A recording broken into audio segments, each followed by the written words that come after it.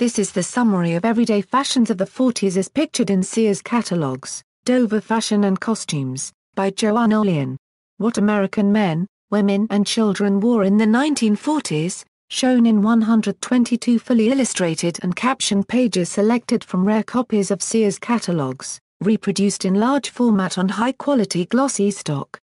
Hundreds of detailed drawings depict hats, overcoats and shoes, suits and dresses, sportswear, undergarments, corsetry, neckties, rainwear, and personal accessories. For more hobbies and home book reviews visit www.homebookmix.com.